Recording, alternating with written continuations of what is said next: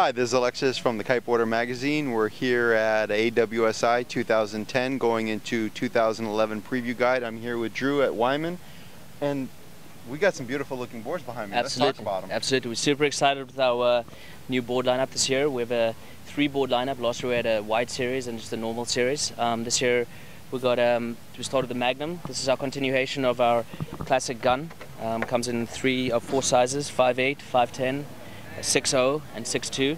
Um, each board comes with a full deck pad, um, turned around, obviously new graphical scheme. Comes with a quad setup and a thruster setup with five fins, um, so you can you can choose which uh, which ride you'd like. Um, also with the uh, if you do choose say a thruster or a quad fin um, setup, you actually have plugs. They give you plugs with it, and the board comes with a um, full board bag and a multifunctional tool. Um, this board, like I said, is is aimed towards more the um, aggressive, you know, down the line type surfing. Um, our new board in the lineup is the the Passport. Um, this is more of our light wind board.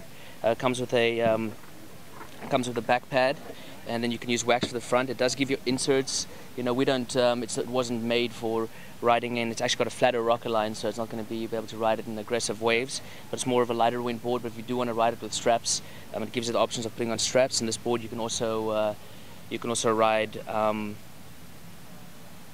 I totally forgot what I wanted to say. Flat water. Uh, no. Yeah, you can also you can also paddle surf the board in like a normal like a normal surfboard. Same as the uh, as the Magnum. The board comes with a quad quad fin setup and a thruster fit setup, so you can choose which uh, which one you'd like to go with. And each board obviously comes with five fins, so you can do that. Cool. Let's move on to this last bad boy over here. And this board comes in a 5.8 and a 5.11. Uh, this, this is our Gambler.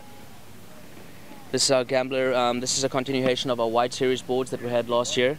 Um, comes in two sizes, a 5.7 and a, um, a 5.10. Also, it is a, like I said, it does have a, a more of a rocker line than the uh, than the Passport, so it can be an aggressive board as well. But also, you know, for the for the mushy boards um, or the mushy waves, it uh, it helps you out a lot that way too. So, like I said, 5.7, 5.10 comes with a full deck pad and um, new graphical scheme, five fins, um, quad setup, and a thruster setup.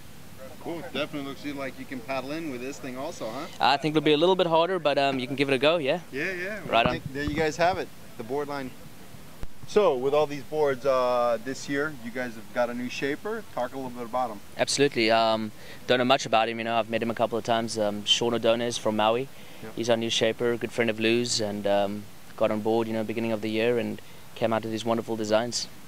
Beautiful. So the guys out there are looking for stuff, where can they go to find out more information about your all your products? You know, the best thing to do would probably go to our website, wainmanhawaii.com, and check out all the, uh, the latest gears. We also have Gang Space there where everybody submits their photos and movies, and we're always continuously updated with some new sections too with good photos and good media.